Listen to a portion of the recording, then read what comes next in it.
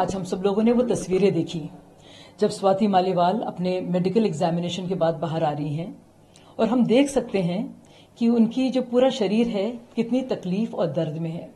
वो चल नहीं पा रही हैं। वो दो तीन सेकंड के जो तस्वीरें हैं ना, वो पूरी कहानी बताती हैं। अभी एफआईआर रिपोर्ट सबके सामने आ गई है, और जिस तरह से उनका बयान है, बहुत ही तकलीफ़ दे वो बयान है। और उसमें वो बाकायदा कहती हैं कि जैसे ही वो अंदर आई एक गाली इस्तेमाल की विभव ने उनके लिए, जिसका मैं प्रयोग नहीं कर सकती। और उन्होंने कहा, तेरी क्या औकात है? उन्होंने उनके मुँह पर थप्पड़ मारे, छह बार थप्पड़ मारे, और फिर उनके शरीर पर।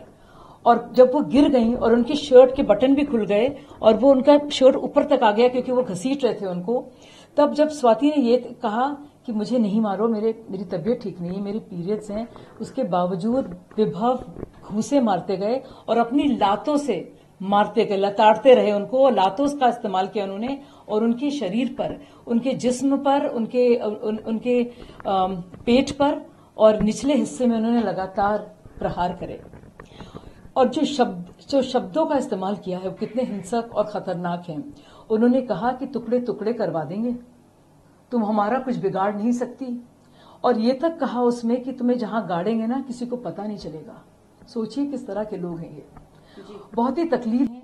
जब आपके अपना अस्तित्व और पुख्ता हो जाता है और आप एक बड़े लीडर की तरह से उभर रहे होते हैं तो आपके पर को काटने के लिए जो जिस तरह से आपको जलील करते हैं, गाली गलौज करते हैं, बदतमीजी करते हैं, आपके घर घर के अंदर आ जाते हैं वो।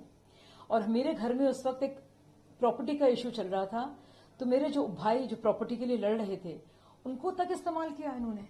आप सोचिए, ये वैसे लोग हैं। और उसको लेकर बार बार उसका इस्तेमाल किया और उस, उन लोगों को सामने खड़ा किया। मेरे घर के लोग जो प्रॉपर्टी का मामला था, जिसमें मेरा नाम ही नहीं था। सोचिए, और यही नहीं, आप, क्या बताऊँ मैं आपको?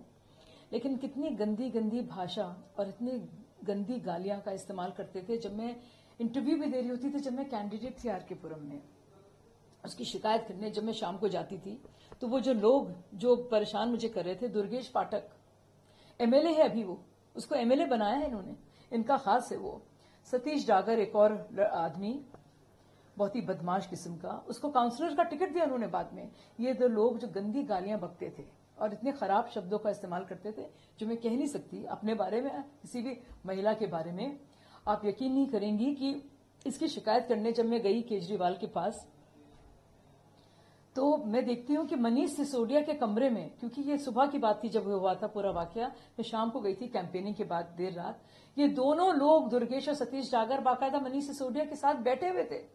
मुझे तो ताज्जुब हुआ मैं हैरत में थी मैं फिर मैं अंदर गई और मुझे अरविंद ने कहा कि मैंने अरविंद से कहा क्यों ये, ये आप, आपको पता है इन्होंने क्या बदतमीजी की है? इतने लोग थे वहाँ मौजूद। तो अरविंद बोले मनीष से बात करो मैं तो नहीं जानता। आप सोचिए मेरा दिल उस दिन टूट गया था पूरी तरह से। और मैं समझ गई थी ये लोग क्या हैं।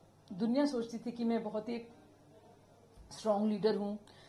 मैं हिम्मत करके बात करती थी, लेकिन अंदर अंदर मेरा दिल टूट गया था और मुझे बस बर्दाश्त करना पड़ रहा था। तब भी मुझे लगता था कि अरविंद ऐसे नहीं होंगे। लेकिन पता चल गया कि अरविंद भी ऐसी हैं सब मिले हुए हैं एक दूसरे के साथ। विभव ने भी जो किया है स्वाति के साथ, वो अरविंद केजरीवाल की मर्ज़ी के बगैर नहीं कर सकता। स्वाति ने खुद कहा